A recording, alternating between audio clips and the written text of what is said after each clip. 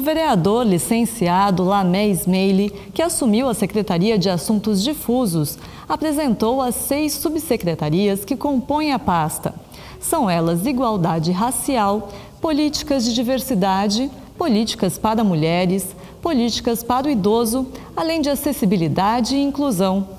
Durante a audiência da LDO, Lamé disse que entre as metas para o próximo ano está a construção de dois centros de convivência do idoso e da Vila Dignidade, também para este público. A secretaria contará com um canal de comunicação por meio de um Disque 0800, com o objetivo de facilitar denúncias de racismo, homofobia, violência contra o idoso, entre outros assuntos ligados aos direitos humanos.